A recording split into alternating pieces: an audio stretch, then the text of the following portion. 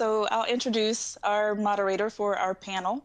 Uh, we have Pamela Dingle, who's the director of excuse me, director of identity standards at Microsoft, and a pretty awesome advocate when it comes to identity in general. They will be discussing different topics within identity and how they've used that within their companies and things that we need to push forward as an industry. So over to you, Pamela. All right, thank you. And just so we know, um, we are pulling you in, Shinesa. You get to come and be part of the family. We're going to do, uh, you know, this is going to be a very practical discussion. Uh, and I want all of your opinions on, you know, how, what you've done, what you've seen, how you have decided, made the decisions that you've made, right? As, as experienced identity um, what's the word uh, practitioners in this area so that just sets some context um, as uh, as shinesa said my name is pamela dingle and um, we have a really interesting panel here today. So can i get all of my panel to turn on mike's or uh, video? I don't know if we can see it yet. I think you might still be seeing the, the beginning of this topic. But let me just read you uh, our starting point for the discussion today right? Um, how to authenticate, what tech decisions are organizations making and why, right? In this discussion, we are going to talk about the things that you have already done. So this is not what should you do. This is, you know, what did you do and how would you change it possibly for the future? Um, I really want to make sure that we're talking about practical decisions. And our goal here is to give practical advice that everyone listening in can actually um, agree with or maybe disagree with, but have a reason why. So, for all of you out there, if you have questions, if you feel like, you know, if you want to challenge something in our conversation, we really hope you're going to get uh, a lot more out of it if you use the Q&A section. So all of you should be ready to type, should be ready to challenge us uh, and as we go through and talk through, you know, what we do on a day-to-day basis, how we uh, get our jobs done as identity practitioners and you know where the the pitfalls are um, where the disasters have been. Uh, so with that i would like to turn this over and we'll get our esteemed panelists to introduce themselves. So here's what i'd like you to do when you introduce yourself. First of all i'd like you to talk about what you do in the identity space. So is it consumer? Is it enterprise? And also what is the size of the endeavor that you have worked on, you know, most recently, or maybe if you've had multiples, um, just give us a sense of, of how big those endeavors are.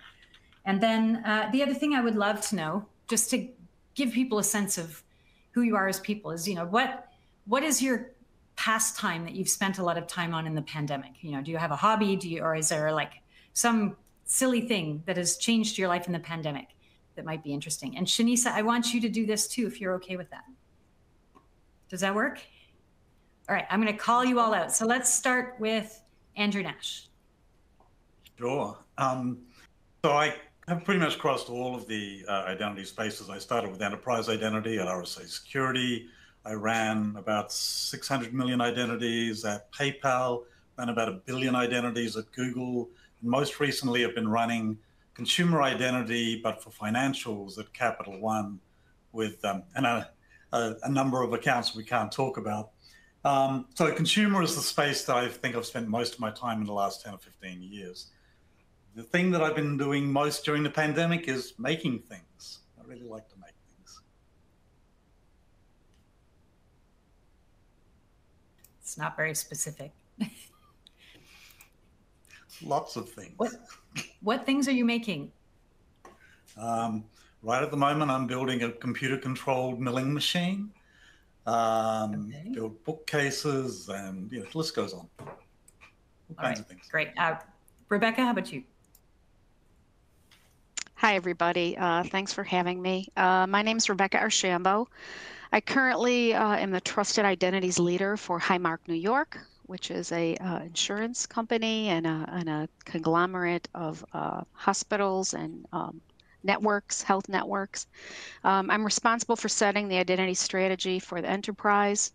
Um, I participate on the HISAC Identity Committee. So Jeremy Grant that spoke a little bit earlier, him and I uh, work together on that committee. Um, and I also lead their HISAC Identity Working Group. Uh, I advise the Blues Association, so uh, all these Blue, Blue, Cross Blue Shield companies across the U.S. Uh, join up, and I advise them on identity-related issues.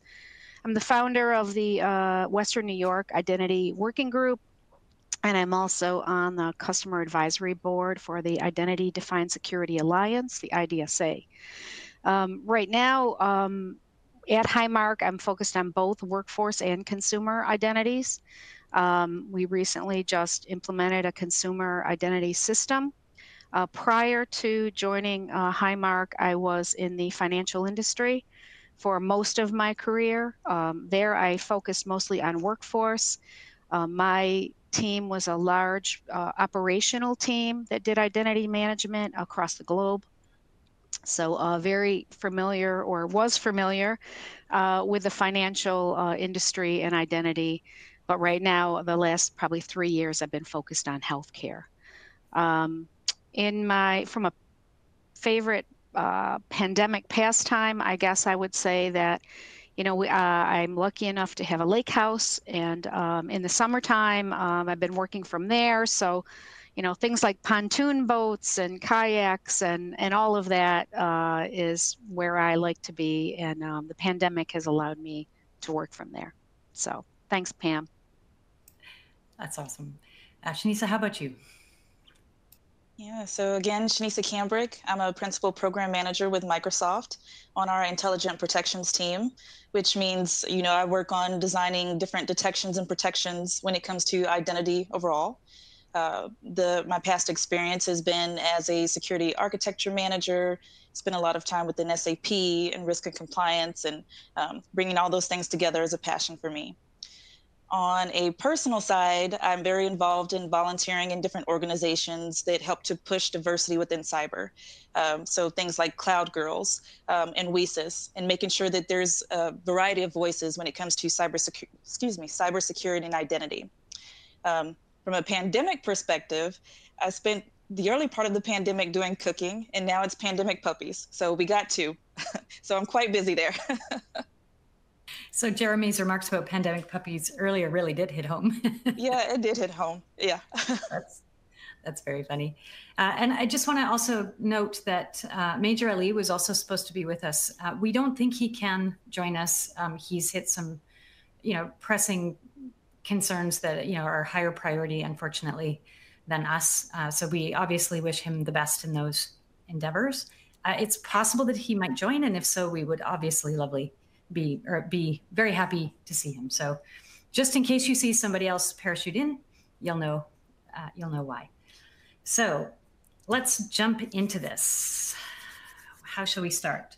Well, we might as well start with authentication. So we saw, you know, we discussed authentication this morning in the previous seminars, and there was quite a lot of advice uh, from both of the previous pre presenters. Uh, what I would love to know from all of you is uh, what decisions, you know, what are the recipes that you have actually seen work in real life as you're implementing? So, you know, the what are the things today that are reasonable decisions for an, uh, an implementer to make as they try to protect real people on real systems at this very moment? Um, Rebecca, why don't we start with you? Thanks, Pam. So, you know, I think, you know, both Jeremy and Nate, you know, kind of discussed that, you know, all MFA is not equal, right? So there's a lot of different versions of MFA. Some of it is more phishing prone or more uh, open to compromise. Um, versus you know something like FIDO that they referenced a lot is probably something um, which is a little more secure and um, surprisingly enough, um, adds you know usability. So the balance here that I think pretty much everybody you know struggles with is uh, balancing security with usability. Like that, I think is is the biggest decision that most of us uh, struggle with. So um, you know, while you know PKI and you know having a, a YubiKey is is certainly you know great. Um, not all enterprises can afford that. So, you know, what are some other options? So, again, as we're talking about what MFA is the right MFA, you have to think about the is it the consumer? Is it the employee? You know, what are the things they're accessing? Um, are things like SSO and things like that in place? And then trying to have that authentication experience be as least impactful uh, for employees for their jobs or consumers as they're doing any kind of transaction. So I think uh, Jeremy mentioned a couple of the white papers that the HISAC put out. Uh, one of those white paper was called authentication. Uh, so it's like an, uh, an HISAC guide for a CISO. Um, while it's focused on mm-hmm. healthcare, it really applies to all industries and it talks through those various authentication methods. And there's a couple of kind of use cases within that paper.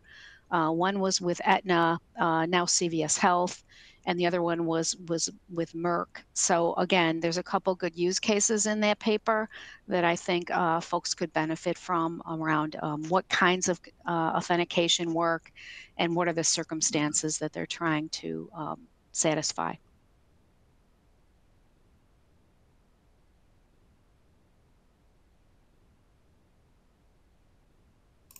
I have my. I, I was muted. Um, I was going to say let's uh, let's put it to Andrew. We'll get Andrew and Shinesa both to weigh in, and then I just want to kind of contrast and compare, if that's okay. Sure. Um, you know, I think the interesting thing about uh, authentication is um, there's this huge spectrum, like with and the choice that you make about what's an appropriate authenticator or what do you need really is a risk spectrum where you need to evaluate what is it that not only my organization needs to do versus another organization, but particular consumers or users? Um, and what's the use case and the risk and the likely impact of uh, some issue going on? So, um, you know, there's there's a case to be made where starting with any form of MFA is actually just better than passwords. And so there's lots of mechanisms that are certainly validly identified as phishable or that may have various risks associated with them. But honestly, just getting started in your organization so you're doing better and there's some additional factor associated with what you're doing is a totally reasonable starting point. Um, if you are starting with something simple like SMS, don't leave it there if you can. Make sure you upgrade as necessary. But um, there is this continuum all the way through to much stronger authenticators. FIDO sits, you know, somewhere towards the further end of the authentication kind of spectrum. There's a lot more to implement. There's a lot more costs associated with this. And in the space I was in most recently, a place like Capital One, um, really what we were trying to do was match the authentication against the risk profile and the likelihood of fraud that we were seeing and for us, it was actually a continuous adaptation where we were looking at what were the impacts, where were the fraud uh, activities coming from, what kind of vectors were involved, doing the root analysis, and then continually adding new types of mechanisms or supporting structures around them to improve.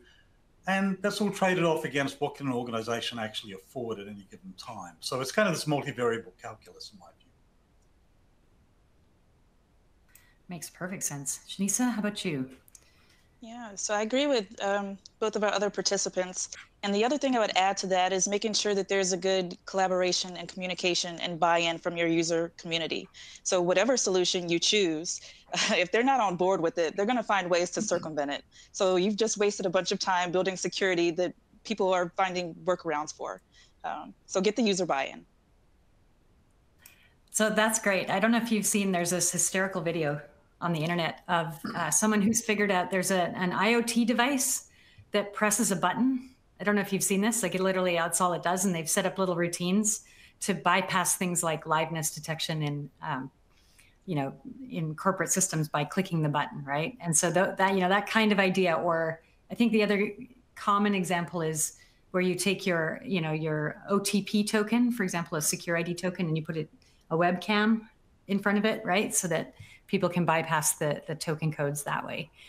Uh, so, uh, so here's so here's an interesting question then. Um, if you find out that people are bypassing the process, what's you know what is your advice for an administrator who's in the situation where they've set up OTP and they see that there's a bypass happening, right? I don't know if any of you have had this situation, but I'd love your your thoughts on what advice you'd give to folks. Anyone can jump in. I think we don't want to go in circles. That's no fun that. Um, so let, let, me throw in, uh, you know, a, a, thought there. One of the things interesting about uh, authentication is frequently we don't think about the recovery mechanisms. And so you can look at recovery mechanisms not only as, oh, I've lost my account or I no longer have access, but in some sense, this set of um, mechanisms that you have to employ to make sure that you have a reasonable controlled degradation of service so that your users still, can still get something done because MFA does go down occasionally, you know, for example. So, you know, what do you do in the midst of all that? And the interesting challenge is that um, depending on how you think about your uh, recovery processes, in many cases, those are alternatives to multi-factor authentication. And so you kind of have to have a, uh, a, an overview about, well, at what point is it reasonable to do something and what I, what can I reasonably allow my users to do or how can I constrain them if they make one of those choices? So if I get in with an MFA like a FIDO authenticator, Sure, I get full access to my financial account. If I can only get in using something like a password and an SMS message, maybe I can look at account balances or something. So, in the midst of all of that recovery evaluation, I think there's a question about um, if your mechanisms are bypassed or a different pathways chosen, then you may realistically have to choose what's the policy based approach you can use that says, all right, great, you came in that way, but you can't do everything. So, I mean, there's there's kind of a reinforcement potential there. Now, outside of financial institutions, you know, there are a lot of different kind of plays for this. That doesn't make sense in social media networks necessarily, but um, it, there seems to be something in that uh, uh, continuum of policy access that that probably helps you. Yeah, that makes sense. I, I would say, yeah, I would say that you know there's, I think every auditor uh, in the in the audience or a regulator uh, asks the same question, right? So, privileged access, for example. So you have a privileged access tool in place, whatever that might be, and how can you guarantee me that that people are using it, you know, and that aren't circumventing it? Uh, because certainly there there are ways and and I guess I would say uh, you only know what you know, but there's a whole slew of monitoring solutions out there. You know, operational monitoring, logs, um, behavioral-based tools that um, you can kind of put in place as controls to kind of alert you when, for example, an administrator is maybe not using a uh, checked out account but using a personal account, right? So there's so there are some kind of controls that you can put around those kinds of situations um, you know to to at least demonstrate that you're you know you're trying to be proactive in that space you know that there are gaps um, based on the kind of operating system you have or the you know the way the system is configured maybe. So i do think that there are options there and um, it's it's kind of something again you work through with your risk team um, to, to make sure there's some kind of controls that you're proactive. So can I just ask, you say privileged access, and I'm not sure if this is a, that's a term that everyone here is familiar with. So can you give like that quick elevator pitch on on what you mean when you say privileged access? So privileged access is a concept when uh, it's it's typically used with uh, employees or the workforce, right? Who are were used to be thought as your biggest threat because they sit inside your organization and they have access to kind of your crown jewels, your you know the the, the critical apps that that make your money.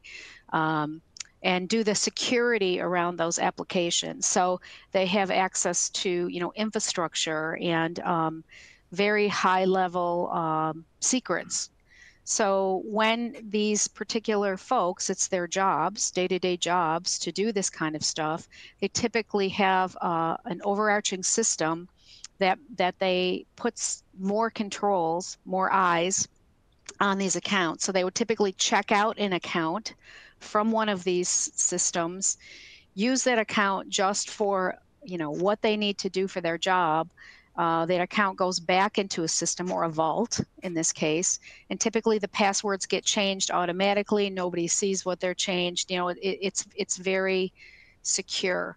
So it's a way of kind of monitoring, um, you know, the most important access, you know, to your crown jewels, whatever your business is, um, and making sure that there's no kind of insider threat um, based on, you know, passwords and accounts. I hope that helps. That's great. Uh, so so this is an interesting thing. So you talk about privileged access, right? Uh, which is all about sort of the, the high, the dangerous stuff, if you will. Um, another term that comes up a lot that might be useful for people when they're making decisions on this sort of thing is this idea of adaptive authentication or adaptive access control. Um, is that, um, Shinesa, I know you do a lot in uh, with adaptive control. Do you want to give us a sense of, of you know, what does adaptive control mean for, you know, for someone who's trying to understand authentication? Sure. Yeah, I think it goes back to the zero trust kind of premise and that looking at where a user is coming from, what are they trying to access, all of the context around the access that you're trying to gain.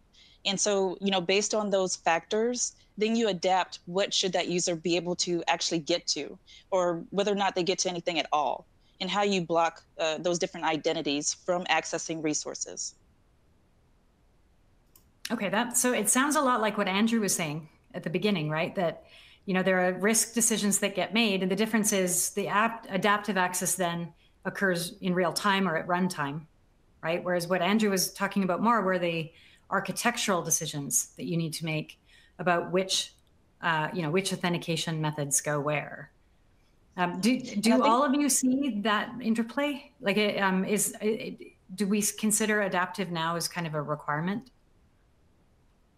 Um, so I think there's uh, there's actually a step before adaptive that I think might be worth talking about a little bit, which is um, often we get into this conversation about adaptive being how you construct the framework or the uh, set of activities you can perform, and so there's an action always sort of associated with it. Uh, what we did at PayPal many years ago, more than I care to remember now, is we actually implemented a lot of the continuous monitoring adaptive kind of mechanisms, but primarily in a monitoring mode, where what we were looking for was to understand what was happening with our user base, where were our likely set of risks beginning to emerge from, and what sorts of next things did we want to try to implement.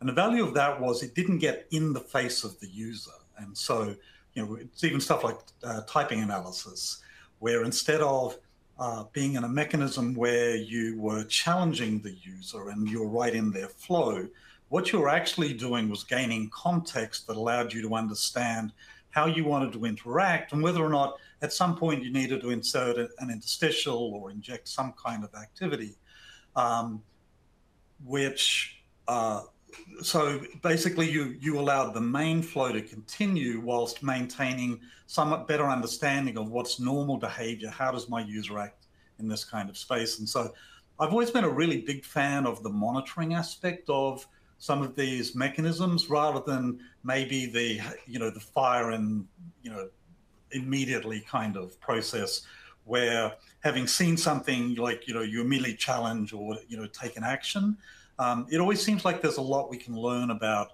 how our users are behaving normally to understand you know understanding what it's going to look like when things start to go wrong is actually a pretty big challenge. So um, you know it, it, there's a lot of valuable investment i think you can make there i think there's two sides to that. So there's the learning the behaviors piece of what they're doing today and then also having the side of they should never be you know connecting with this type of device that has you know poor device health for example. And you want to stop that behavior from even you know penetrating your network for example. So there, there's two sides to that story. Yeah, that's a i love that. I, I think too this is a really interesting differentiation between consumer identity and enterprise identity right in that in the consumer identity you don't probably get to you know, you don't get to define what kind of device the user has. You have to assume that it could be terrible, right? Um, and so you still need to make them successful compared to enterprise where we have a lot of, you know, there's a lot of uh, rigor that can be applied and layered. Um, you know, I think the one interesting one here, um, Rebecca, I'd love, you know, your opinion on this is um, device compliance, right? I, I, you know, in the healthcare space, especially, are you seeing device client compliance as a sort of a silent tool for authentication? Yeah, so so for sure, device pay, plays a role, and especially in the uh, healthcare industry, right? So, not only device, but the uh, your phone and what might you know what kind of phone you're using or something like that. But think about all the wearables, your Fitbits, your heart monitors that are now uh, at home, and and you're going to see a trend here, like hospital at home. You're going to have, you know, the EKG, you know, monitors at your fingertip fingertips that your doctors, you know, because you consent, would have access to. So uh, much much better tools and maybe keep you out of the hospital rooms, keep you out of the doctor's offices. Um, telehealth, right? All of these things. Each one of these devices is a is an identity um, in the consumer space for sure in healthcare. Um, the other thing is, you know, identities even within the enterprise. So um, things like service accounts, you know, that your operations teams are running processes behind the scenes. Again, those are identities. They're doing processes that, you know, are uh, incredibly important to your organization. So the scope of identity, you know, has gone from workforce and maybe a laptop and, you know what I mean, some minimal devices to huge, huge, you know, expansion of devices. So anything from, you know, laptops and, and phones to, you know, all of these wearables. Um, your your your refrigerator and your vacuum cleaner now have, you know, identities. So again, it's it's a huge space. Um, it's a lot to control. It's a it's a big ask for an identities team, which, especially for a smaller organization, a big ask for them, right, to expand their their scope of work um, they're they're used to keeping the lights on, making sure you can access the things you need to access to do your job, and now you know comes consumer and everything with it.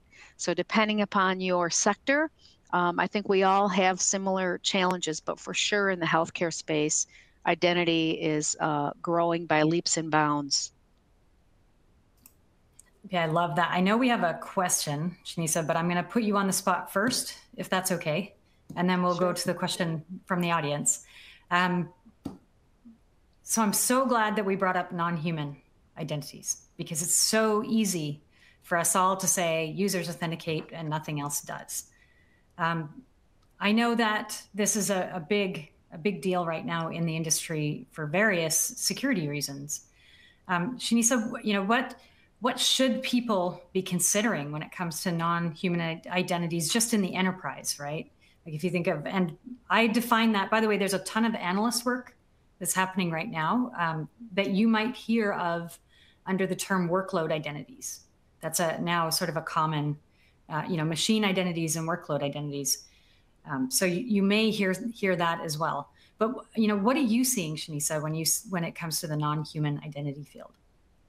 Yeah, and just to add on to that, sometimes they may be called service accounts in different companies. Um, so the important thing there is that you know in the past we may not have looked at those as something that needed least privilege. It was all about establishing that connectivity, you know, getting that function or that service to work. However, we need to take a step back and just make sure those identities only have access to what they truly need uh, because they're now being used as attack vectors, uh, not only within your company, but then people leapfrog from your company to the next company. Um, so you may be the gateway for the attack for someone else. Uh, other things we need to consider there are making sure that you're, you know, rotating credentials on a periodic basis. Uh, don't leave things as static. Make sure you're using strong authentication when it comes to these service accounts um, and try to separate those workload identities based on the functions of, of where they're needed. Don't try to lump everything into one identity. That makes perfect sense. Andrew, how about you? I mean, were service identities a big part of uh, what you worked on when you, you know, in your past worlds? Um, they they are in like at, least from an architectural kind of perspective, just uh, maybe a slightly different spin on the device aspect of this. Um, you know, one of the things that's fascinated me is like my own personal bank, not Capital One, just so to be aware. Um, multi-factor authentication is like just really not available. Like one of the largest banks in the USA does not have a good form of strong authentication unless you're a business account. And so this is shocking to me, you know, that uh, that this is not more prevalent. And you contrast that with some of the larger tech companies like an Apple or a Microsoft or some social media companies like Google, and you look at the kinds of combinations of devices that they're using, and where we have this concept of devices having identities, ident- uh, being able to leverage the gestalt or the collection of those devices so that they reinforce one another. So, yeah, maybe my device has been taken over or is about to do something suspicious in the context of a transaction, well, I know of two other devices you have that I can reference, and the likelihood they've both been subverted is probably not high. Why am I not leveraging those either for recovery purposes or permission purposes or just MFA purposes when I have this cloud of devices? And so I see tech companies that are really, really good at this, and some of the much higher value transactions in finance and healthcare where these things are just not happening in any effective way other than maybe just conversations about this. So, you know, there's a point at which I really laud the, uh, you know, the activities are going on with use of device identities in those various companies because I think there's a huge set of very powerful mechanisms that uh, haven't now been implemented. Now, there's lots of issues with them.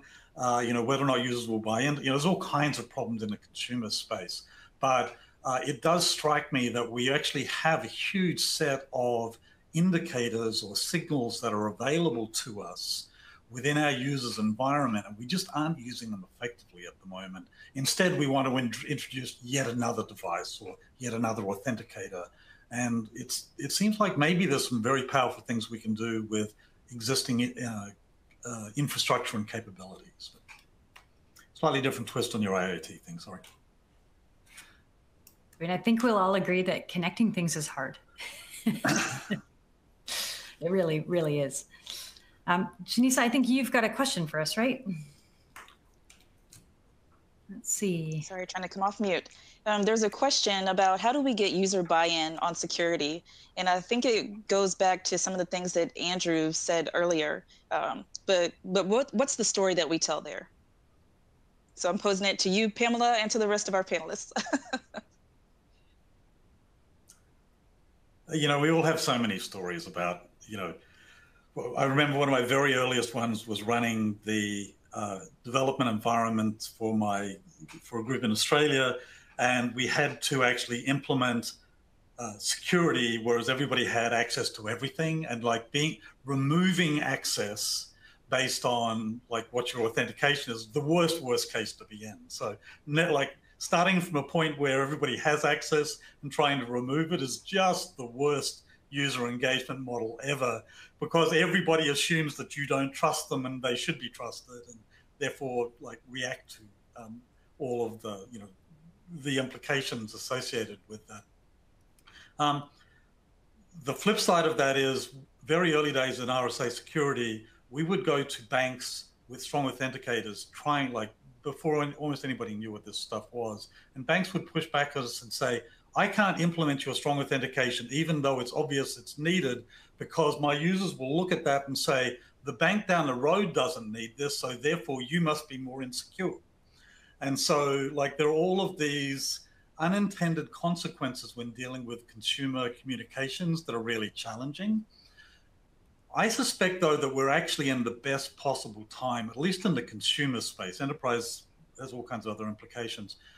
For most of us, we are very aware that it's a really dangerous world at the moment. And for stuff we care about, then we're actually good with engaging with new models if it appears that we are going to be safer and more protected you know, as long as we deal with the privacy issues and all the other like uh, unintended consequences associated with this, I think from a consumer engagement perspective, this is the best time ever. But it has to be done against the backdrop of we are going to protect the stuff that you care about. Not so much we're doing this because you have to be good, like court, you know, citizens and protect the stuff we care about as an organization. So that would be kind of my starting point. For me, for me, it's starting. It's getting uh, some really strong advocates within your organization, right?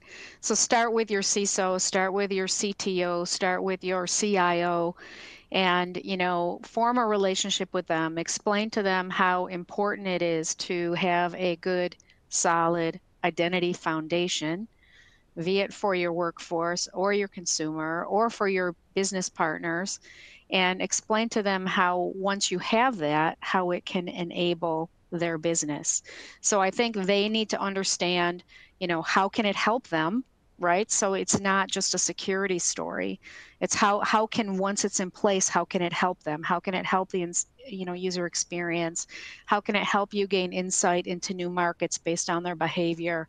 Things like that. And then the other thing I would say is bring your biggest complainers to the table first. So people who have a problem with the identity team, the people that you're stopping their business because you're not able to get their requests, you know, in fast enough or you're not able to support their projects, bring them in first, explain to them or or better yet, show them this is our backlog this is what we're working on. You know identity is part of the fabric of every organization every sector regardless of what business you're in right? Oil gas um, healthcare finance education government. If if identity is not brought in at the beginning of those conversations and it's waiting till the end then it's an emergency. You know everybody hates the identity team because you're stopping progress. That is not how we want to be seen. You know we want to be seen as partners. So i would say get them in get them into a room. Um, i started a you know I, uh, identity um, committee. You can call them identity stakeholders. You can call them identity champions. Um, get them to the table.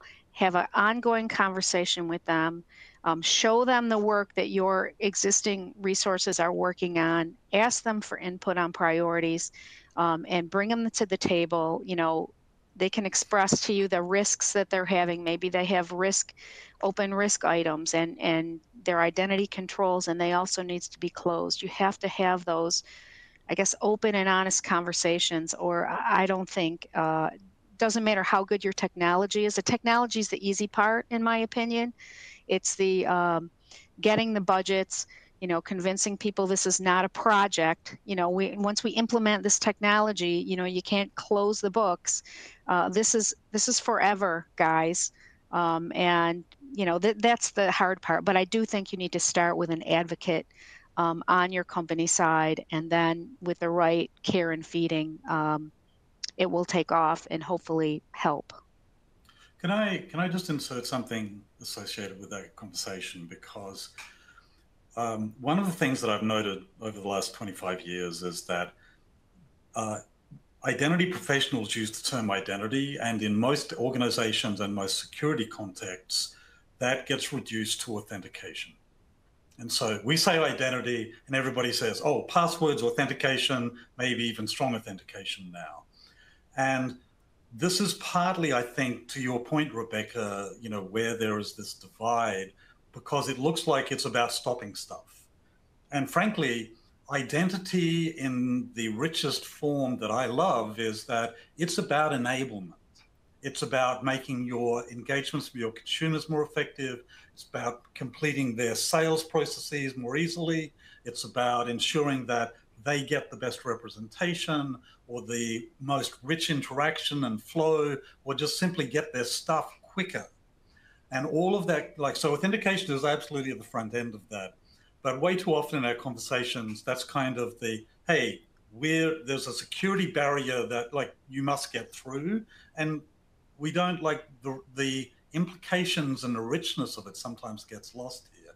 And so one of the things I've done with a lot of executives previously is talk to, hey, what we're looking to do here is to create this set of opportunities, including new revenue and business opportunities by putting you in a position where your consumers have a much better experience with us. And that's this thing called identity. By the way, there's this authentication project we happen to have that we'd like you to get you know to bless on the way through. But this is where we're going. That's awesome. Yeah, I think, I mean, there's a long term view to this question and a short term view to this question. The long term view, um, I think, is really exemplified by um, what I consider to be the most successful. Um, you know, identity initiative that's been that has, has happened out there really, which is single sign-on. Single sign-on has been is pervasive and it's popular, right? And single, for those of you who don't know, single sign-on is this idea that you log in one time at one domain and then as you travel to different applications in different domains, the original place you logged in basically sends a little introduction with you. So it's like a secure introduction from site to site as you jump around from app to app, right? Super convenient because you're taking away something people hate, which is that you're taking away the login experience altogether. So, you know, I, ideally in the long term, we get to an experience where you don't have to do anything, where your hardware is speaking on your behalf right? You're using things that are built into your computers, right? You don't have to do um, exceptional things to be secure. But, but many of us are not in that world yet. And so we have to ask people to do these back handsprings today. Um, so yes, the best security is a security that no one has to, you know, actively participate in.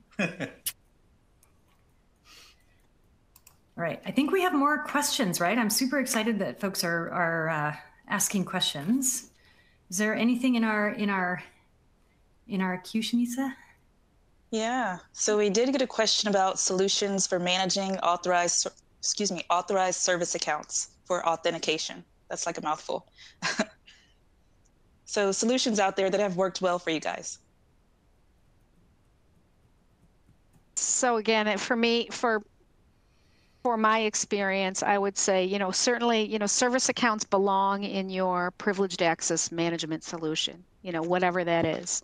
Um, I say that a little bit um, hesitantly, however, uh, because not all service accounts can be vaulted and credentials changed because what happens is there's a lot of old legacy stuff out there um, with passwords embedded in apps and those developers have have left the building, right? So if you just make an assumption that you're going to vault and manage the credentials of all of these service accounts, you may find things start to break. So um, the approach that that we've used, and I know other folks have used, is you have to you have to it has to be slow and careful um, consideration, right? Um, a little bit of trial and error, but there is some danger there as far as your operational, you know, things that are running in the background that that maybe the developer supporting that app aren't aware of. All of a sudden, you vault a, a, a service account credential and it changes, and you could stop something very important. So you have to be careful with that, but it's but it's definitely a privileged um, account, and it needs to be managed that way. Again, there are some manual controls you can put around it uh, and maybe test it and do it a little more carefully.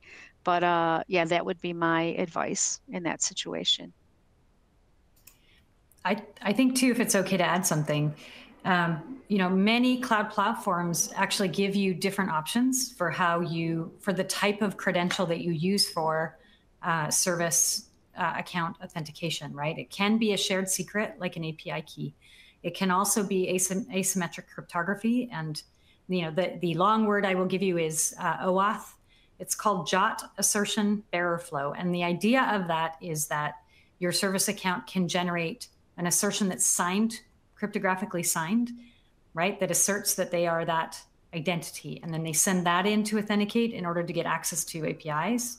And it, by doing so, the secrets never cross the wire which is a better option for you. And it also means that um, you know you're using access tokens to get to APIs, and by using access tokens, it means that your uh, credentials, your primary login credentials, are never seen by the APIs either. So that would be a, a best practice that I would recommend as well. All right, so I think we're we are um, moving along here, getting close to the end. Um, but I do want to just talk a bit about. Uh, well, I, actually, let me see. I, I think we want to prioritize audience questions. Shinesa, is there anything um, in your queue that you want to that you want to prioritize, or should we go to some of our interesting, provoking questions? Um, so just really, so two questions really quickly. Um, there was a question for you, Rebecca, about automation in regards to your response. Yeah, yeah. So automation for sure is, you know, these privileged processes, right, that are that are running to uh, help you uh, your operation run more smoothly. And for sure, they're, you know, they kind of fall into this privileged service account um, because it's robotics and again they're identities that you have to manage. Um, my suggestion there is you know the 80-20 rule don't try to automate processes that are not mature. Um, just take what's proven and and what's easily you know repeatable translatable focus on those for automation. And if there's something with too many steps just move on. Um, and i think your time can be better spent um, but again, it's you know automation, robotics. Uh, it's very common in identity, and but again, those credentials have to be managed as identities and um, and privileged. Uh, it, it, can break for sure, and uh, you got to kind of monitor when it all doesn't work as planned. But um, absolutely. I know that um, you know automation is sort of one thing, but the word that's coming up a lot more in the identity industry now is orchestration, right? So orchestration, as in, I want you know I want to run my entire business, including all of my identity activities, uh, you know, as code, right? Running in an automated fashion, so that we don't have administrators at uh, portals typing into web forms anymore. We actually can uh, you know, make this stuff, check this in as code, make it really, really predictable and reliable. Um, have any of you worked in that orchestration world? Um, or have, you know, do you, do you have folks, is it common for that kind of orchestration to make its way into, into various businesses? So for me, um, so Andrew, uh, hopefully I didn't jump on uh, your response. But for me, um, for sure, one of my recommendations is that identity services. So as new, you know, new apps are coming into your world, or um, you know, some modifications of existing apps, uh, they need to be delivered in an agile manner. So the identity teams need to use this process, this DevOps process, to deliver the IAM service itself. So they need to learn from the developers. How are you classifying your work? You know, um, for us, you know, we we did it with using Jira uh, and Confluence and very common, you know, DevOps kind of tools. Um, and that has a lot of advantages. You can, you know, demonstrate what your teams are doing, what they're working on. You can work with your stakeholders to help you prioritize. You can see, you know, where there's dependencies on other teams. Like all of that stuff, delivering the service in an agile way, I think helps to connect you to the other developers. It's almost like, you know, let's all do it a similar way. Now, now the scrums may be a little different or uh, whatever. The mechanics may be a little different, but the idea is the same. You are delivering a service um, using agile DevOps. Uh, um, I don't know um, methodologies, um, and I think once you do that, um, you kind of are talking a similar language. Then, uh, does that make sense? Yep, definitely. I, I also think that right now we're in an interesting place where you don't have to be a super duper coder to do that kind of orchestration either, right? There's lots of low code or no code opportunities. Um, so, you know, does you know does that, in your opinions, open up things for administrators who maybe are not pro developers to be able to have those kinds of super um, combinable workflows and things like that? For me, absolutely. Absolutely. You know, uh, moving to those software as a service type of, um, again, um, configuration based uh, identity instead of actually, you know, issuing commands at a console, uh, definitely the way to go, definitely the way to free up your team, and definitely the way to become continuous and proactive. Um, I think without having those modern kind of service based solutions, I think you're going to always kind of be a step behind, you know, in catch up mode and, and you're going to be reacting instead of being proactive. And that's something that you can only get to once you're kind of a mature organization. But those things take time in their baby steps. Um, but definitely. Yeah, and we, uh, you know, my most recent engagement, Capital One, the entire company was like totally bought into orchestration processes. Everything was like everything was done with microservices. Capital One is the only financial institution that is fully resident in the cloud, not a data center anywhere. So we had the benefit in identity that we were riding along with a common set of approaches that was true throughout the organization. It wasn't like an identity thing or a security thing. It was like it was just part of the corporate ethos and the way that all of the developers worked and interacted with one another. That having been said, the challenge with so many of our uh, of our identity systems, much like you know, uh, you know other digital transformation issues, is that this is really hard to do with legacy systems. You know, it's like getting to the level where you can effectively orchestrate some of the components you need, you know, particularly um, when you're dealing with registration kind of processing or, uh, you know, entitlements. There's just a huge amount that's like still requires a lot more hand holding that you would like. But, you know, I'm encouraged by the fact that we're moving along here. But even in a Capital One, you know, there were still challenges and the wheels would fall off on occasions. Yeah, Rebecca and Andrew both hit on topics that I was thinking of. Um, identity as a service has grown is now actually a thing. Uh, and so the use of apis to to you know orchestrate that is huge now. That's great. All right so so that's sort of one end of the spectrum right? Someone who has the size of organization right and the bent to maybe try to make everything automated what if we take this now to the other end of the spectrum? So there are probably people here who are listening and just shaking their head saying, we don't have the resources for that. We don't, we're starting, we're small business, right? So if you're a small business and you're you're trying to make tech decisions to keep yourself safe, right? Where what's your what's what's your first order problems to solve? And then what are the you know, what are the things that maybe people don't realize are important to, to do next? So so I would I would say this because I you know was kind of put in that position. So I went from a very large operational responsibility, global, to a, kind of a smaller company, a strategy kind of position, um, and the, they too had no formal title for someone like me, right? So most identity teams do not have anyone dedicated to looking at strategy. I think that's very common.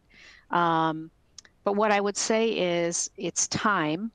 Um, assuming your CISOs now get it, um, they've had enough zero trust uh, uh, in breach conversations to understand the role that identity plays. They've acknowledged that they need some kind of uh, IAM program. My my suggestion would be to take someone within your team who has really good communication skills, who can kind of get your stakeholders to the table and start to have that conversation. That would be kind of step number one. Again, bring the most compl- bring the people that are complaining the most to the table first.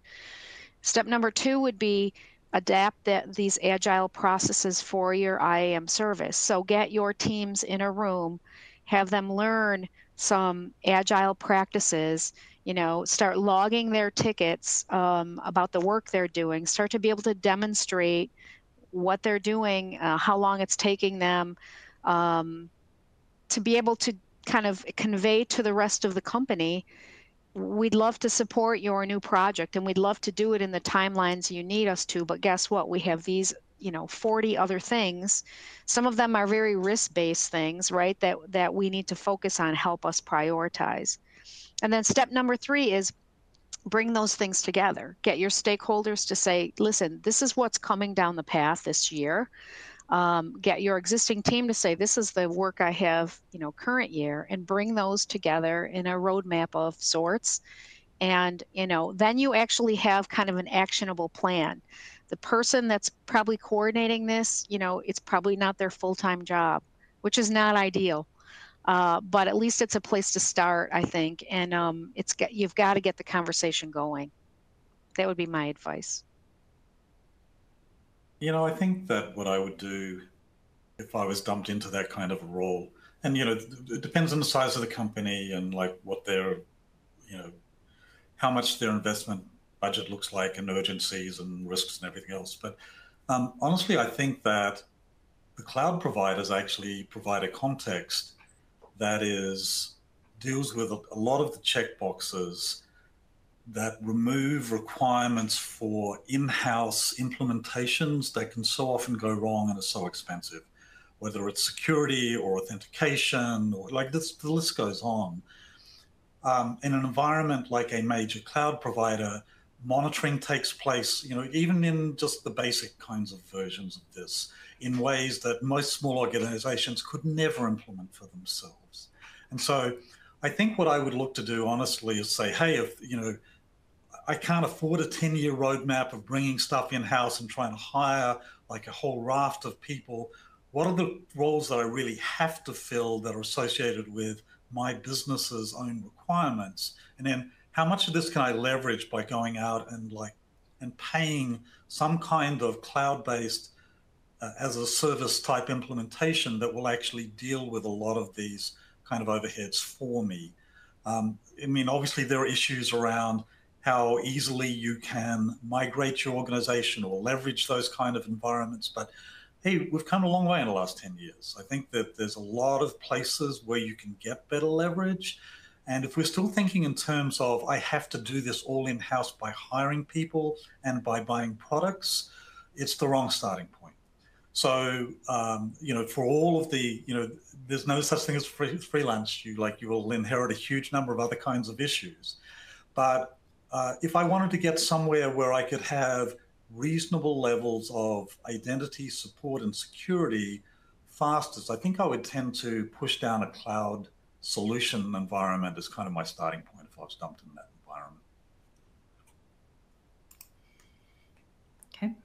Shinesa, so I don't know about you. Um, I, I, actually do a lot of, of work also with foundations, and I'm on part of the IT department for a small uh, for an organization called Women in Identity, um, and we're in the middle of this right now. We have, you know, we chose to go to a cloud platform, which is quite quite entertaining. That, but we chose to go to a cloud platform that that didn't have all of the identity um, features we needed. We had to make a choice between member features and identity features, and of course, that's especially difficult when you're an identity organization because you know, it, it just cuts, right? It cuts deep. Um, so I don't know, you know, if if those kinds of folks are, are on the phone, you know, I, I certainly feel your pain. Um, Shinesa, have you had experiences like that too, where you've you've had to make those choices? Yes, and I believe every company to some degree has to make that choice, right? No one has unlimited budget for something. So understanding what your goals are, what is the end state that you're driving towards, what's most important to you and then that should you know drive what it is you implement along the way. Um, it's going to be a journey. It doesn't you don't get there overnight. And to me there's like three things that you need to focus on. So who are your users who need access? What's the type of access? And what are they doing with that access so covering those three points will be the major things for you and i would say too if you do anything, if you know, if you have to do, if there's one thing you can afford to do in the next, you know, week or month, protect your administrative accounts. If, you if you can't do anything else, if you're, you know, maybe you're roadblocked on users, whatever it is, protect your administrative accounts, right? And and that might mean create using a password manager solution. It might mean uh, using privileged access management, like Rebecca was talking about. It might simply mean turning on multi-factor for the one or two or 10 people who are administrators. even just doing that, you know, from my perspective, that is the simplest way you can get a, a big bang for your buck as a very, very first step. Because if your administrator gets phished, and you know, as as the previous speaker says, that can happen, then then you have folks who have instant access to create just havoc, absolute havoc. So that would be my my recommendation. I don't know. Anyone else want to, you know, what would is there any other recommendations like that that you would want to make? Yeah, I mean, again, part of the uh, deployment of a privileged access control, you know, would be MFA should be part of that for sure. At the bare minimum. Yeah, totally agree.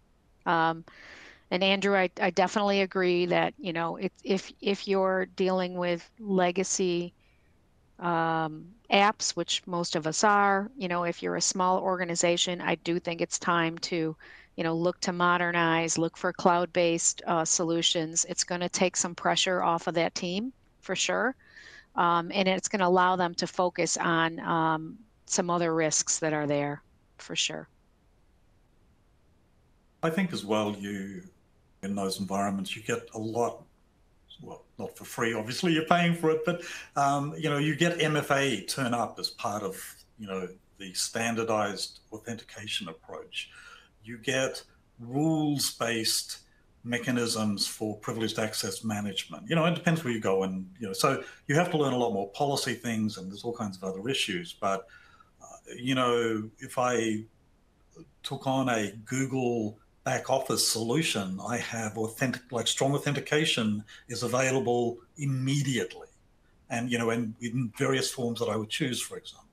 Or if I go to AWS, my administrator accounts can be protected in multiple ways to Pam's point about how do I secure this. So um, you know, I kind of like that, you know, because it's, you know, apart from anything else, not having to deal with the infinite array of salesmen who are trying to sell me stuff for each of those solutions would like give me back half of my time to actually work on real stuff. So. All right, I think uh, let's check our Q&A. I'm super excited that people are putting things in, so want to make sure to respect that.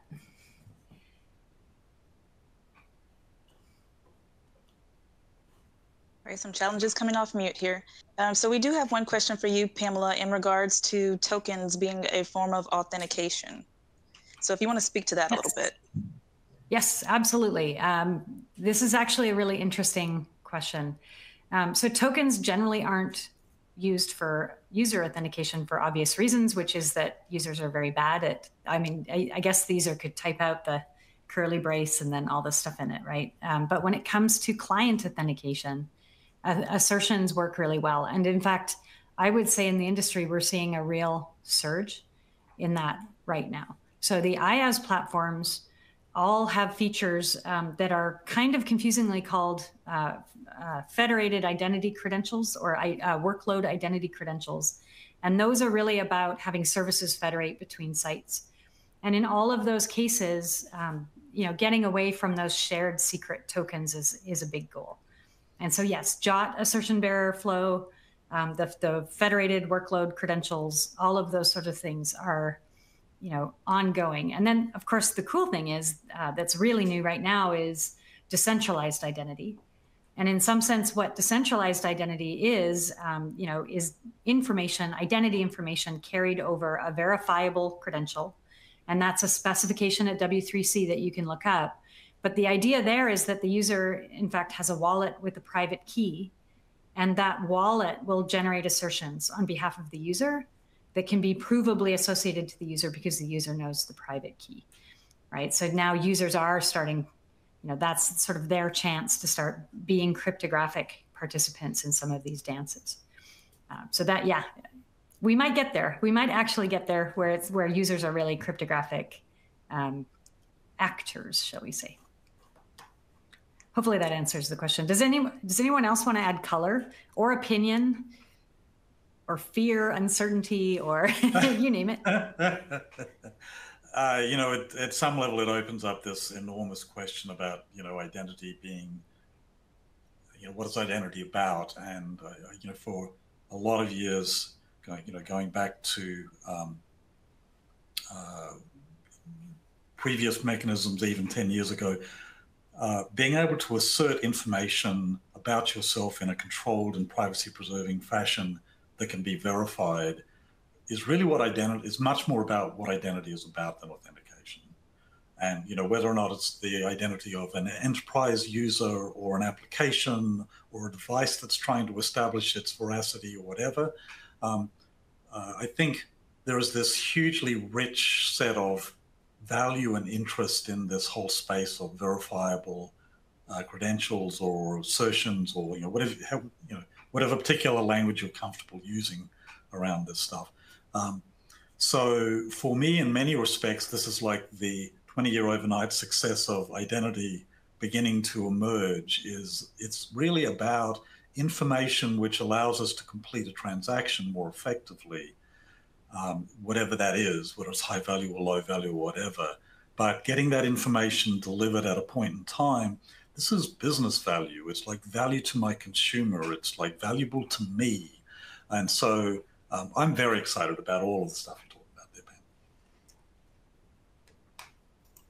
Yeah, I'm I'm excited too. Um, that's kind of one of the reasons right right now is you know kind of a, an exciting time in, in identity, right? So much is changing, and for sure the trend toward decentralized identity, you know, users owning their own data, you know, being in control and managing consent and privacy and all of what that entails. Uh, it's an exciting place to be, but they're not.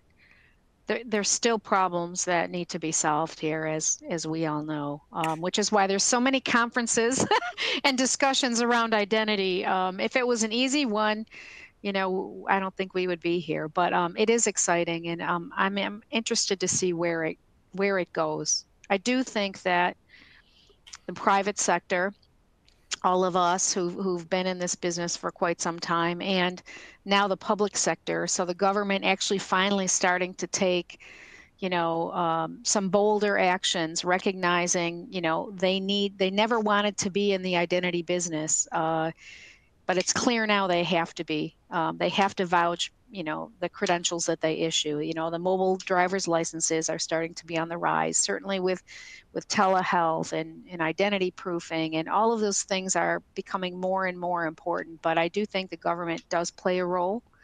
And if they would vouch between you know if the you know your your dmvs and your passport issuers and your um, birth certificate people and all the all the things that go into vetting you are who you say you are if they would stand behind those credentials i think it would make our lives much easier in the private sector um, and and you know we could maybe move a little bit faster than we've been moving. I love that. So that that was like a you know that was such a great summation in a lot of ways of of you know what we've been talking about why it's important. So I, I want to wrap us up here and just give everyone kind of a, a second to, to have a last word about, you know, what's important to you? Like what, what is the most important thing that you hope people take away from this? Uh, and, you know, and what is that future um, that you think can realistically be achieved? So if that, if that works for you all, um, Andrew, I will start with you. Sure. Um, you know, there's, uh, in conversations like this, you're always very aware that like we can end up talking about futures and architectural purity and the wonders of like whatever, and you know it's and you know we we get off on doing that and have for, for a very long time. Um, for me, I think there's there's this very there's this great opening that's beginning to occur, as I said earlier, where we are all now painfully aware of the need for our information to be protected, whether it's from a security or a privacy perspective, or, um, you know, it used to be 20 years ago, nobody would ever use a multi factor authenticator because if you had to get up from your chair and walk three feet to complete a transaction, you just wouldn't do it. And we're now in a mode where uh, people are are starting to question why are you not checking it me? Like if i'm doing something that's valuable to me? And so i'm very encouraged by the fact that i that you know it's not perfect. You know, you, there is always going to be a set of exceptions to that, and a set of folks that are, uh, you know, object to any kind of uh, overhead in any of their processes. And it's not really up to us as technologists and policymakers to reduce those so that we simplify it. Identity is still ridiculously complex. Um, even in the decentralized identity world, asking me to manage my permissions sounds wonderful, but practically is almost impossible for even technologists in the identity space to wrap their heads around. So normal users can't use it. But before you get there, there are, you know, there is this opportunity for us to, on our own behalves, begin to protect our information and begin to use mechanisms that are much more commonly available. So I like the fact that there is actually a pragmatic starting point and an engagement that seems to have crossed over the Rubicon, so to speak, so that we're now at this point where uh, I think we can start to move forward in a lot of ways that previously we've just looked at from UX, you know, user experience perspective and said, no one will ever do that. It's too hard or whatever. So um, I think uh, that's a great opportunity. It also means that for small and medium sized organizations, there is a requirement to buy in here because there is an expectation and a need. Because the last thing you want to do is be the low hanging fruit that the bad guys can go after. And so there is also an impetus here from an investment perspective. We need to trade that off against it's good for the business, not just a front door that you're trying to protect, because that, that phase is past. I'm still trying to work out how to make all that work together, but trying to do that in a simple way that's good for the business, I think, is one of the really interesting challenges right at the moment. Rebecca?